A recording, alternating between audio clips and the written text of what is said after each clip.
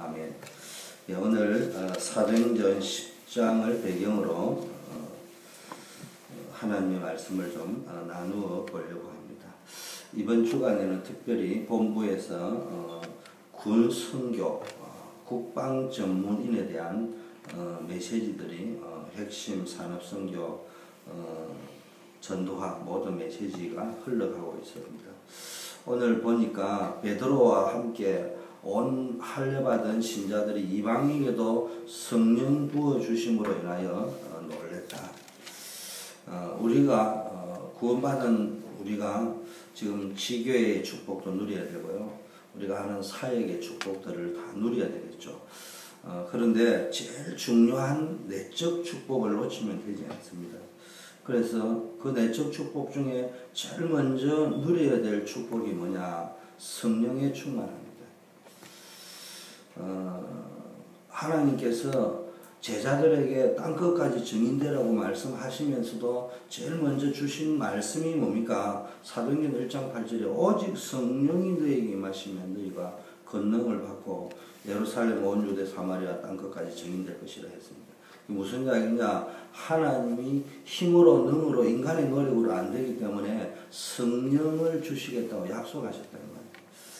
사도행전 어, 1장 8절의 언약을 초대교회 전 성도 마가다라방 성도들에게는 뭡니까? 이 말씀이 뭡니까? 그들의 영혼에 이제는 담기기 시작했습니다. 이전에는 주는 그리스도시요 살아계신 하나님의 아들이라고 고백을 다 하고 답을 다 가지고 있고 예수는 그리스도 인생의 모든 문제라고 요즘 말로 하면 우리로 치면은 그런 답을 가지고 있었음에도 불구하고 어, 예수님을 부인하고 배반하고 또 옛날 자기가 어, 하던 생업의 현장으로 돌아가는 어, 그런 어, 일들이 있었습니다만은 어, 성령 충만의 약속을 받고요. 성령 충만을 받고 나서는 공의 앞에서도 천하 인간의 구원 얻을 만한 다른 이름을 주신 적이 없다고 고백할 수 있는 죽음 앞에서도 담담하게 이야기할 수 있습니다. 그거는 죽음도 두려워하지 말고 불사하지 말고 어, 복음 전해라 이런 말도 되겠지만 어, 사람 더 본질적인 것은 정말로 성령 충만의 맛을 봐버렸다. 그러니까 뭐 담대하라 말하라 수준이 아니고 본인들에게 그런 힘이 일어났습니다.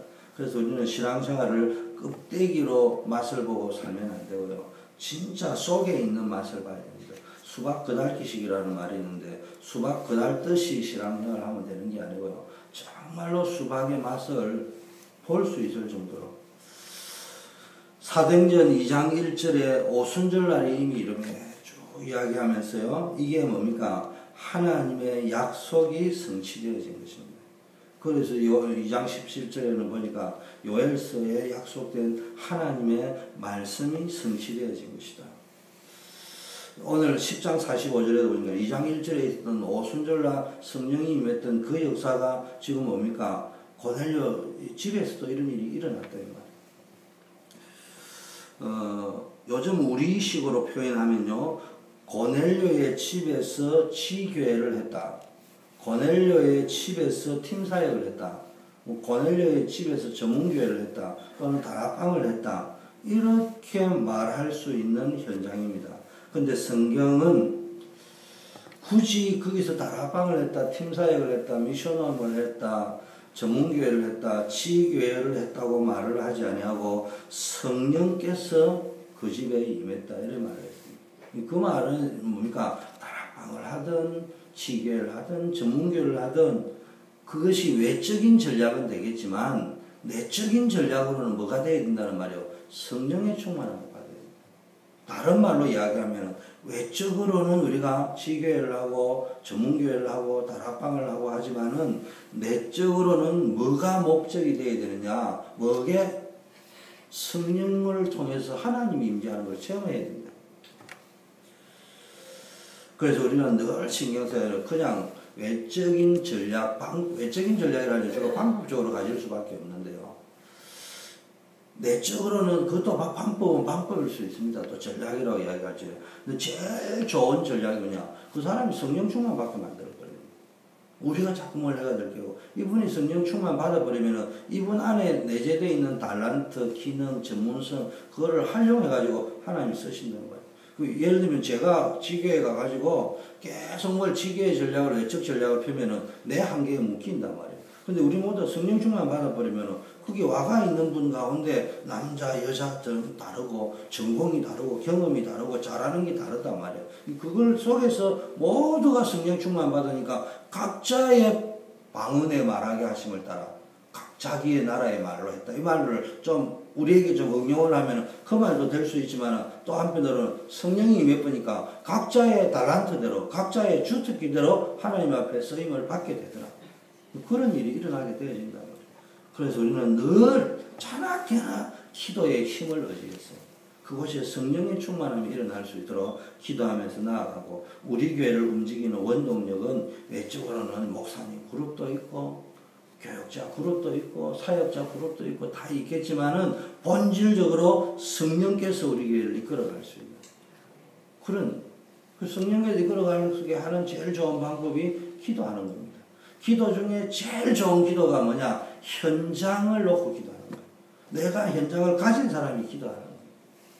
영권이 언제 세냐? 기도할 때 영권이 일어나지만 가장 영권이 역사할 때는 전도 현장에서 사역이 말씀 전하는 현장에서 생명 운동하는 현장에서 성령 충만한 역사 일어나기를 바라겠습니다.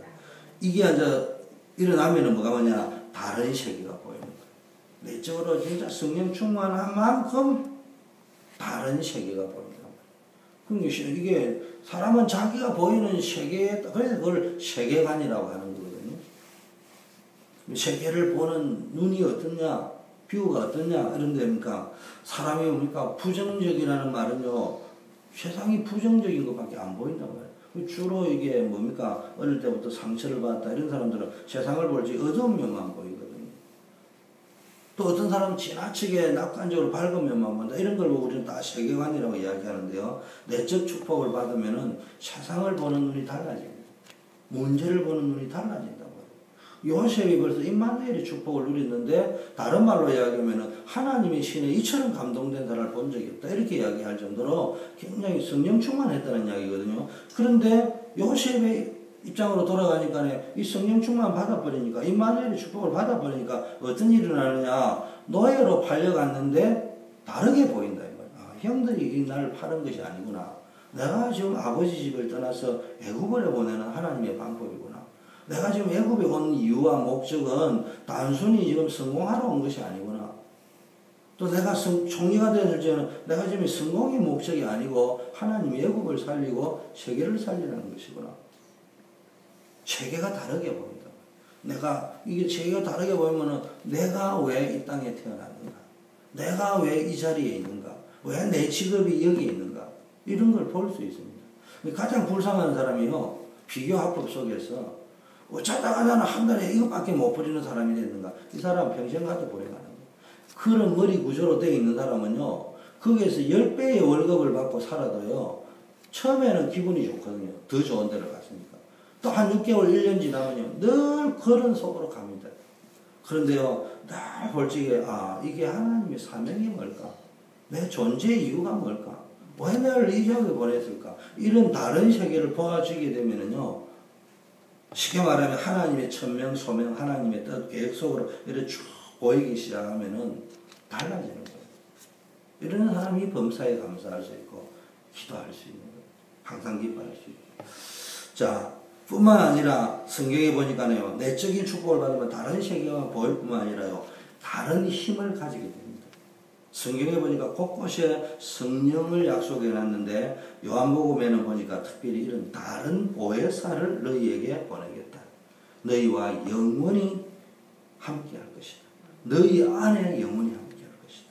요한복음 14장 16절, 17절.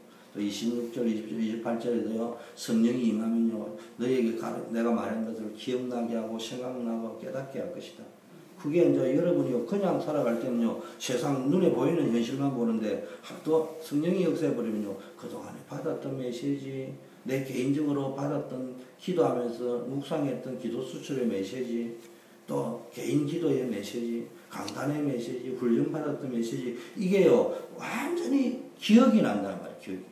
우리 다 기억 못 하잖아요. 저도 제가 설교한 거 다 기억 못 하잖아요. 일주 정도, 이주 정도 기억하지. 억지로 하면 한 달 정도 기억하지. 이게 1월 달부터 쭉 내려오는 거 다 기억 못 할 때 있거든요. 그런데 뭡니까? 그게요, 필요할 때마다 기억이 나고, 생각이 나고, 깨닫게 하시고. 그러면 뭐가 하는 거예요? 세상을 줄 수 없는 평안을 얻게 되는 거예요. 왜 그게 하나님 주시는 인도하십니다.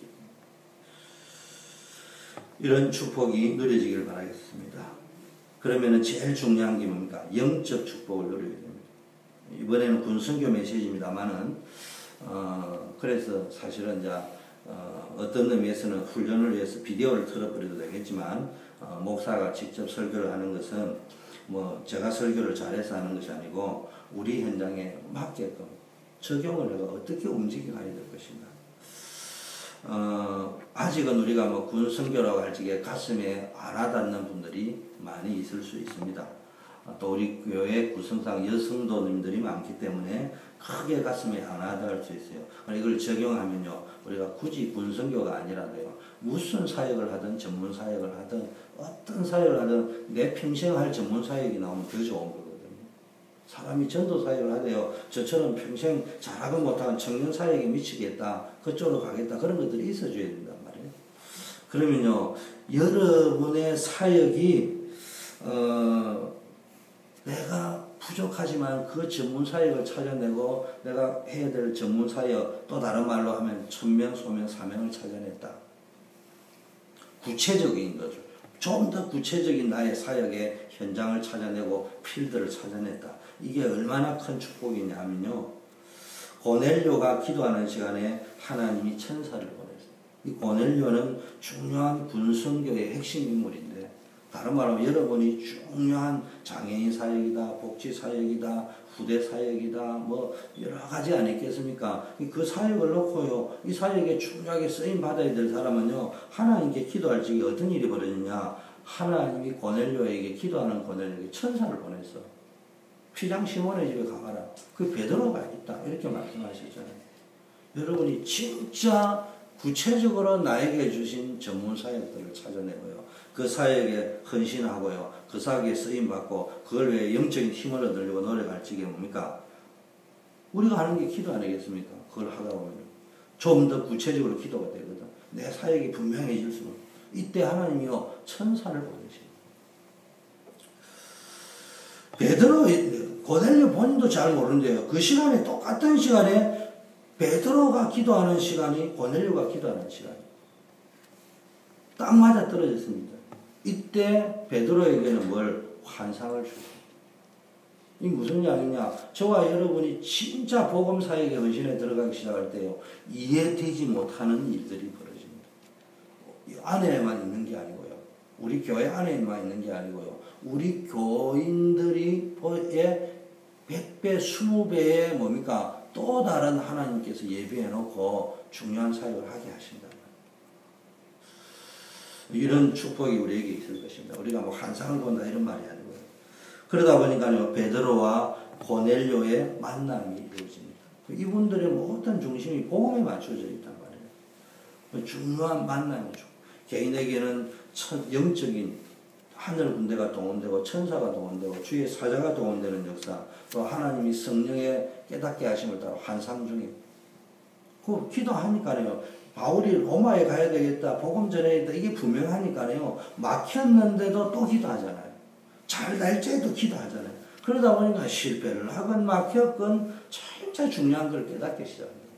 환상이 보여서 마케도냐로 가잖아요 고넬료의 집에 오늘 보니까요, 놀라운 구원의 역사와 성령의 역사가 일어나면서 요즘 말하면 지교회 운동이 일어났습니다.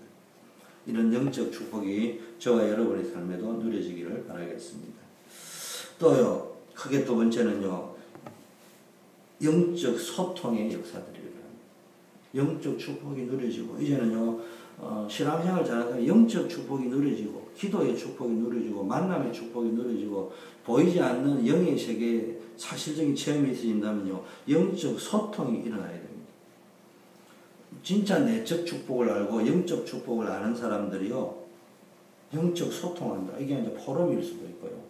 함께 팀을 구성해 가지고 우리가 중요한 한번 군성교 오면은 이제 예를 들면 이번 군성교를 통해 군만 할게 아니고 어, 우리 5대 필드에 있듯이요 쭉 보면서 어떻게 우리가 구체적으로 후대를 살려내겠느냐 학교 현장을 살려내겠느냐 어떻게 하면 직장 현장 산업 현장을 살려내겠느냐.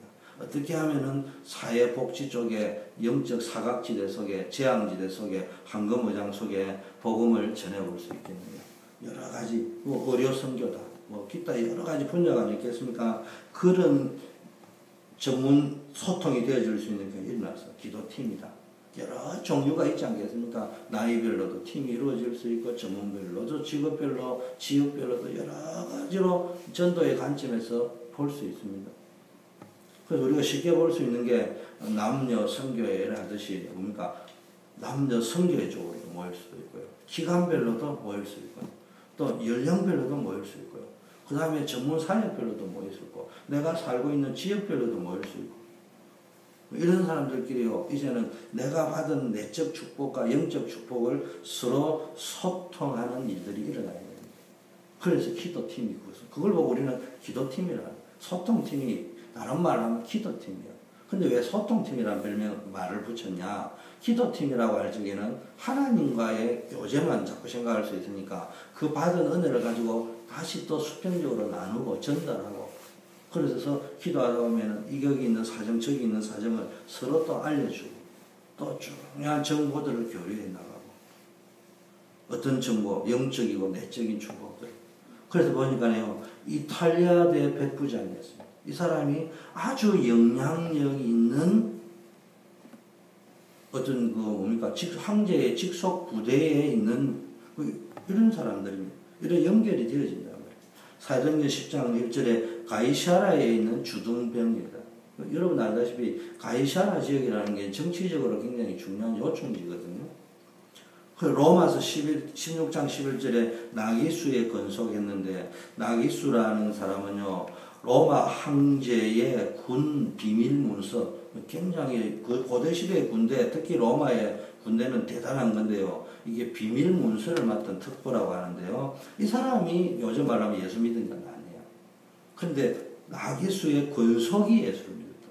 이게 지금 무슨 이야기냐? 저와 여러분이 어떤 기도팀을 구성해가지고 전문별로, 지역별로, 나이별로, 여러 어떤 팩다별로 우리가 기도팀을 구성을 해가지고 기도하고 내적 축복, 영적 축복을 누리고 소통한다는 말은 전도와 선교를 위해서 본격적으로 현장을 놓고 구체적인 현장을 놓고 기도팀을 구성하고 거기에다가 어떤 제자를 파송할 것인가 어떤 요원을 파송할 것인가 이런 걸 놓고 막 기도하는 거예요. 여러분이 되고 나서 하지 말고요.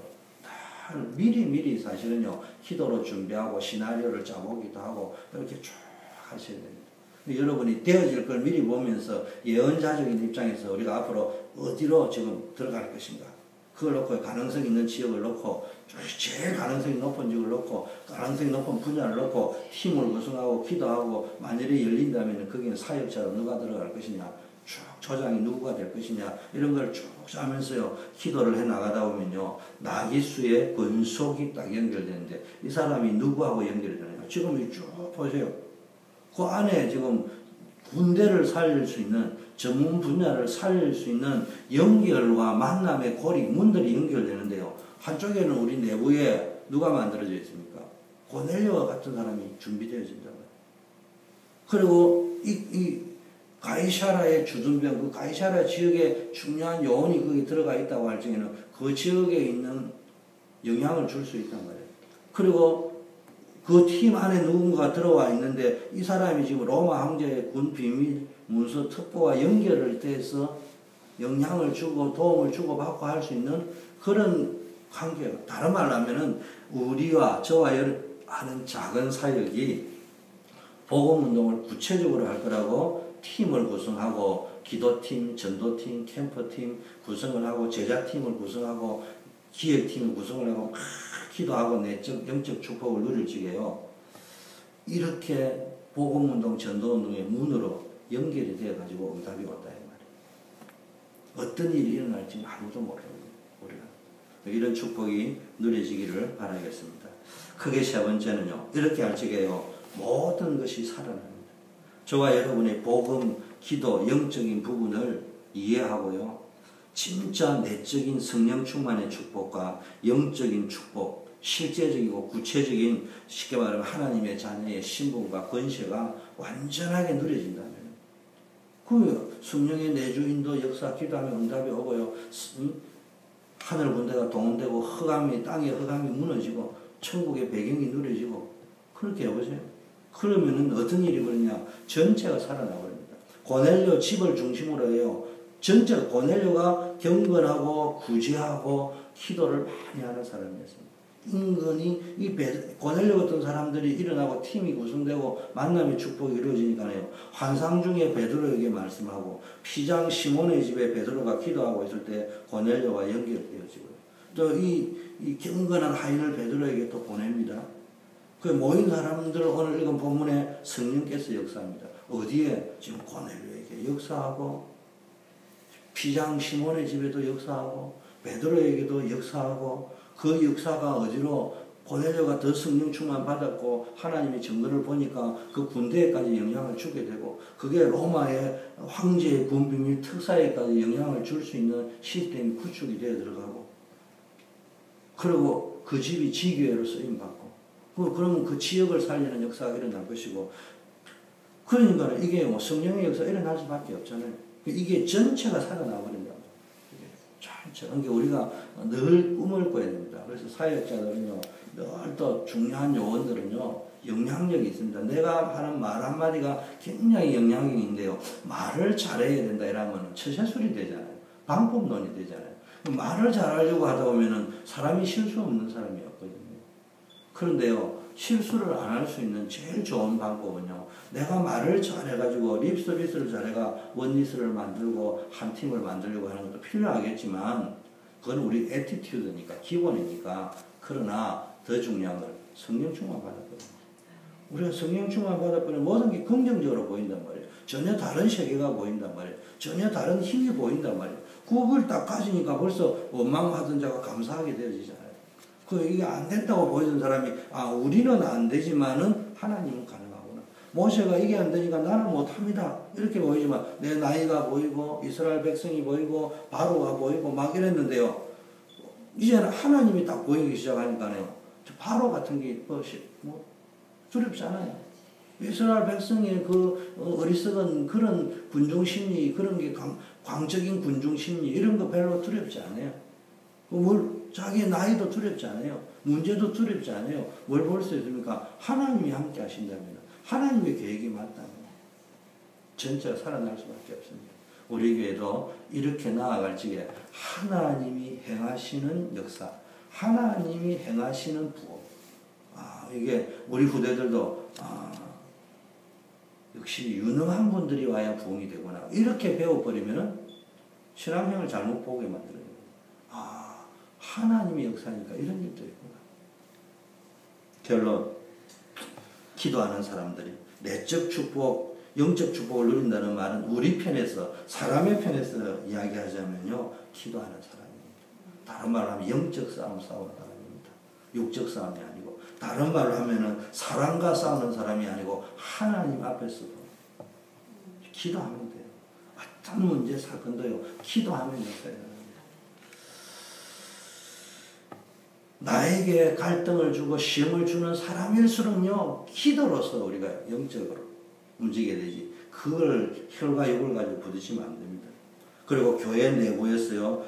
계속해서 이런 영적으로 가슴 가진 자, 현장의 가슴을 가진 자, 그 기도팀을 알 적에 거기에 진짜 한 맺힌 사람, 이런 사람을요, 반드시 찾아내야 돼요. 그러면 되는 거예요. 뭐든지 지교회를 한다. 우리도 보죠. 벌써 연세가 많으신 권사님들이 중심으로 하시지만, 실제적으로 지교회를 하는 분이 딱 계시니까 좀 다르게 보이잖아요. 흐름이 달라지잖아요. 있는 거하고 없는 거하고 다른 거예요. 그냥 말만 있는 거하고요, 진짜 움직이는 거 다른 거예요. 그래서 여러분들이 꼭 헌신해야 되고요. 그 다음에요, 여러 가지가 이제 군으로 치면은 뭐 군 출신, 군인 가족, 뭐 어, 군대 입대할 사람, 제대할 사람 이런 거 있듯이요. 우리가 하는 그 어떤 전문 분야에도요. 오랫동안 그 분야에 계셨던 분이든지 그와 관련이 되어져 있는 연결고리가 있는 이런 분들을 중심으로 교회 안에서요.